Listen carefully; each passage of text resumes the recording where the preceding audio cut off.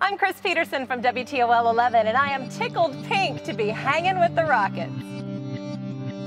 One in eight, one in eight, one in eight women, one in eight women will be diagnosed with breast cancer. A friend, A mom, a sister, a grandmother, a cousin. an aunt. These girls are willing to give up their jerseys. They're going to wear these special pink jerseys at the game, and then they'll auction them off afterwards. I got mine a couple of years ago, and you can get one too. All the proceeds go to Northwest Ohio Komen for the Cure. It's time. It's time. It's time. It's time to find a cure. Join us Saturday, February 16th. We'll see You at the game.